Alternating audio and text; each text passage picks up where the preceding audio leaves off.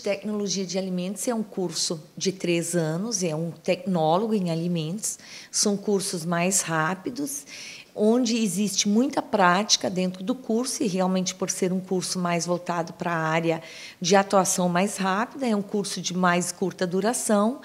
e onde esse profissional vai atuar na área de alimentos, onde ele vai atuar na área de transformação, na industrialização de, de alimentos, inovação de produtos, onde também atua na área tanto de origem vegetal, animal, transformação desses alimentos, na área de bebidas também, voltando para um mercado realmente onde exige uma resposta mais rápida, tanto na transformação, na inovação de produtos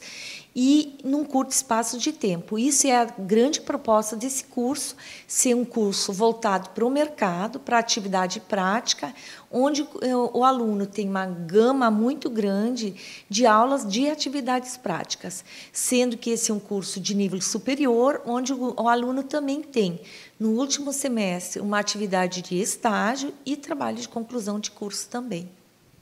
Qual é o perfil que o aluno deve ter para fazer parte do curso?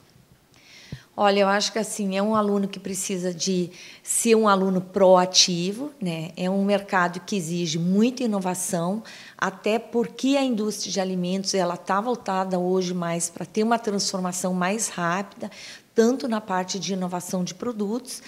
é, que leva à inovação e lançamento de produtos com novas opções. Então, se exige realmente um aluno mais proativo, não tão reativo com a atitude do mercado. Então, é um aluno que oportuniza muita atividade prática no transcorrer do curso, que é voltado diretamente já para o segmento de trabalho. E o aluno realmente tem oportunidade nisso, é onde é ofertado tanto na rotina da atividade do curso, como a própria relação com o mercado, com as próprias indústrias.